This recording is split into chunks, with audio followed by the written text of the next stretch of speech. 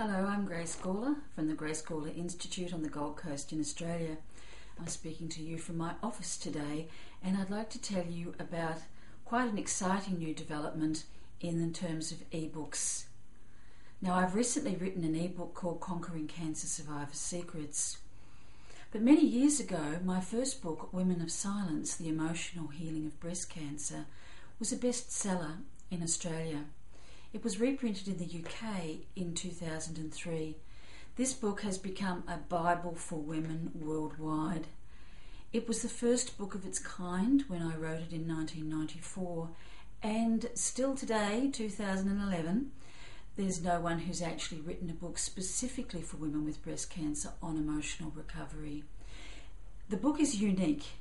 It's based on my experience of working with women with breast cancer in a residential setting and in a one to one as well as a support group setting. The book contains real stories about women who have been dealing with breast cancer and what they've found useful on their journey.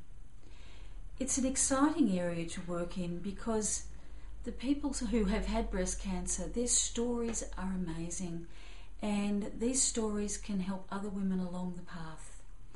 So here's the book. It is now now available in an ebook, and so anywhere in the world you can access the book for a very reasonable price.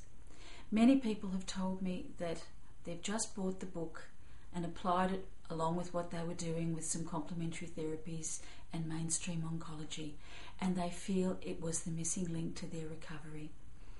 If you need help or advice, or you'd like to speak with me via email, please contact me institute at gracegawler.com or get onto the website at www.gracegawler.com forward slash institute.